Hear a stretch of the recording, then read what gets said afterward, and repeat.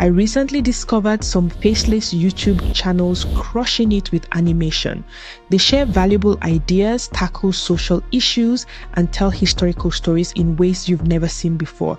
Take TED Ed, for example, earning over $102,400 a month, or Kurzgesagt, pulling in over $224,300 monthly, according to Social Blade. These channels have been around pre AI using various animation techniques to achieve stunning results. In today's tutorial, I'll show you how to recreate a TED Ed style animation video using low poly animation style with the help of AI. Before we get started, check out this animation video I created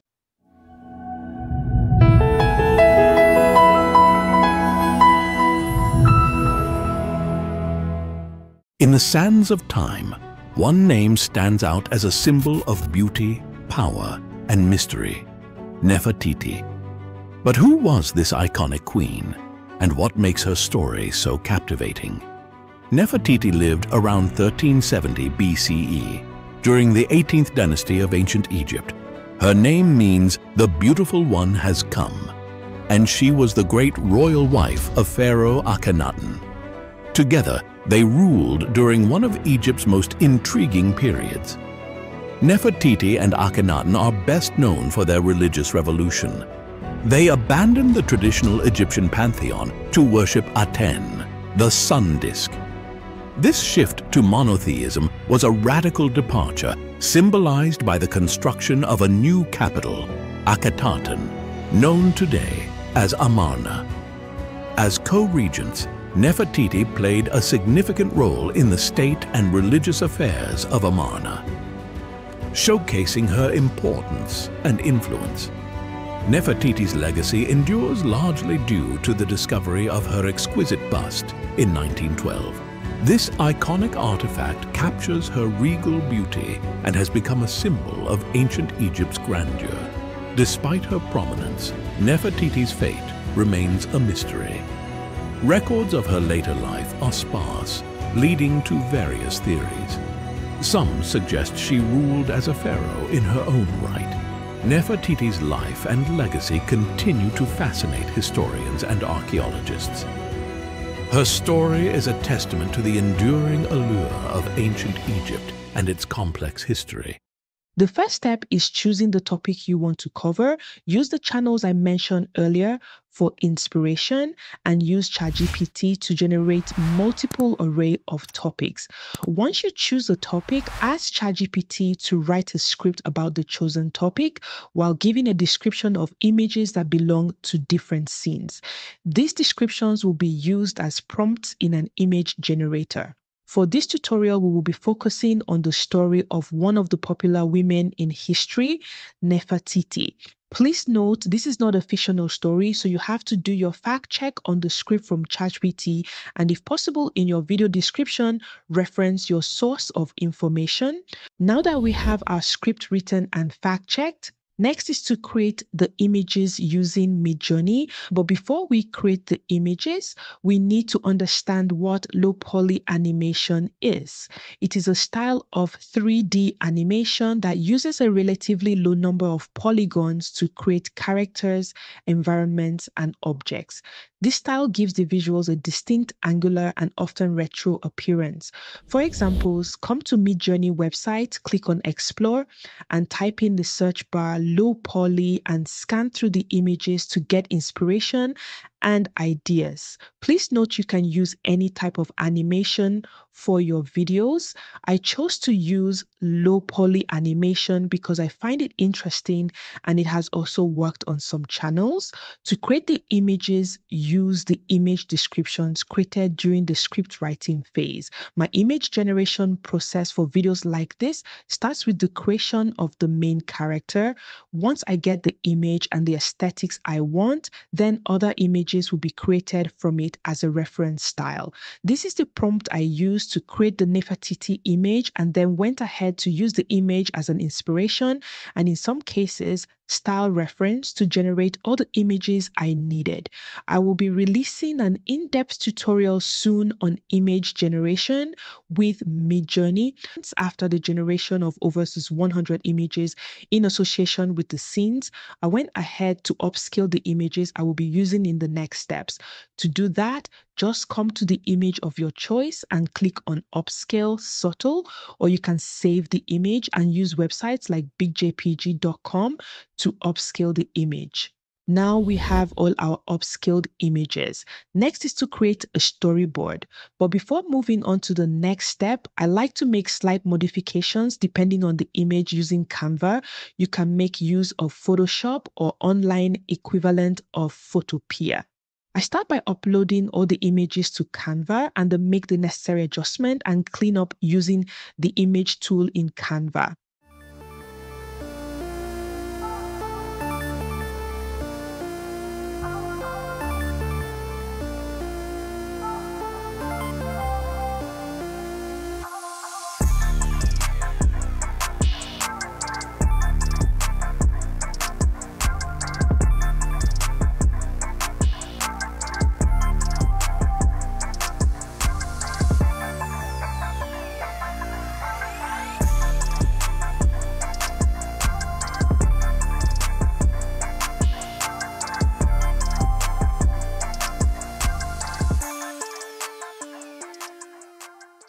Once that is done, I like to create a storyboard to see how the images and story ties together. To do that, just come to Canva in the search bar, type in storyboard template and multiple templates will be loaded. Choose one and select customize template. Go ahead to add all the images and scene text to see how they tie together. I am aware there is an AI tool that can help with storyboarding, but I am currently on their wait list to test it out. LTX Studio, if you're watching, I need my access thank you, or if anyone knows any other good AI tool that can help with storyboarding while creating high quality, consistent characters, let me know in the comment section. This can literally save us a lot of time. Once you are satisfied, with how your story looks like, it is now time to create the voiceover for our video. I will be using my favorite text to speech AI application ElevenLabs. This tool have a free plan so you can start with that. Use the voice library to find the appropriate voice for your video and add it to your voice lab. Head back to your speech synthesis page, Paste your script and generate the voiceover and download the audio file and save it. The next step is to animate the images we generated. For this step, we will use three AI animation tools, Runway ML, Dream Machine, and Immersity AI. Each of these tools was used to animate different types of images. Starting with Runway ML Gen 2, I used this tool to animate images that showcase different environments. To animate the image, select the Gen 2 model for the text, leave it blank, and then camera control, I used to zoom in. Then I used the motion brush to brush over areas I needed movement. In this scenario, I used two brushes. The first brush was used to animate the clouds. For the x-axis, I moved it left and added a bit of ambient. Then for brush two, the same settings were applied to the palm trees to make the trees sway left. Once the setting is done, click on generate for the video to be created. Once the video is done, click on your download. But if you want to extend the video by an additional four seconds, click on the extend button before you download the video. The second tool, Dream Machine by Luma AI, was used to animate images that have characters that needed some form of movement without losing the consistency of the character.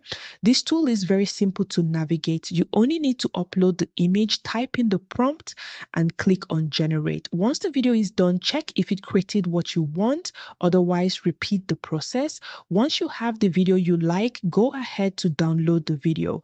The last tool used was Immersity AI for images that I needed some form of dimension with no distortion or change to the image whatsoever. Coming to the website, all you need is to upload your image and choose the animation style. If you need more control, you can use choose the manual settings. And once you are done, click on the export button, choose MP4, click next, then choose between limited plus or premium and click next, choose the duration, the FPS, and then export to download the video.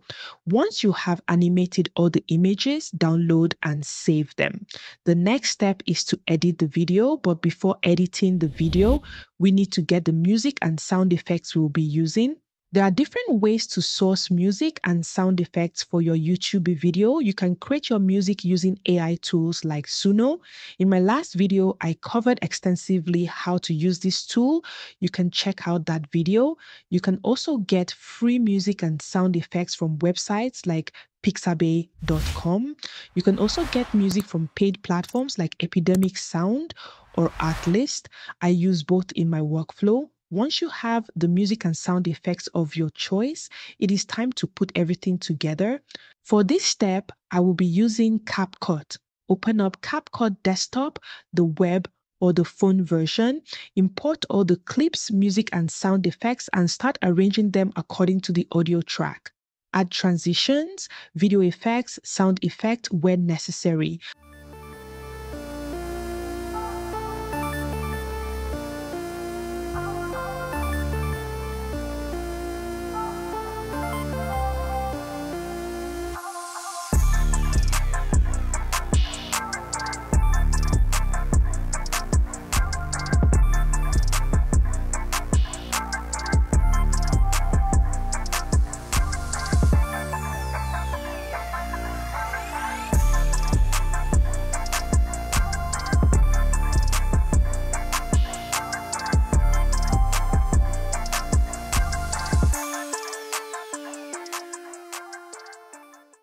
Playback to be sure the way the video looks is what you want. Once that is done, export the combined clips into one video and head over to CapCut website, click on create new and choose video upscaler.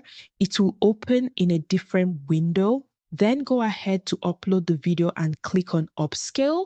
Once that is done, click on export and then download. The video will be downloaded and you're good to go. You now have a video to upload on YouTube. Creating an educational AI animation video for a faceless YouTube channel is one thing, but there are still other steps you need to execute to make sure you succeed. To help you with the next steps, check out this video and I will see you there.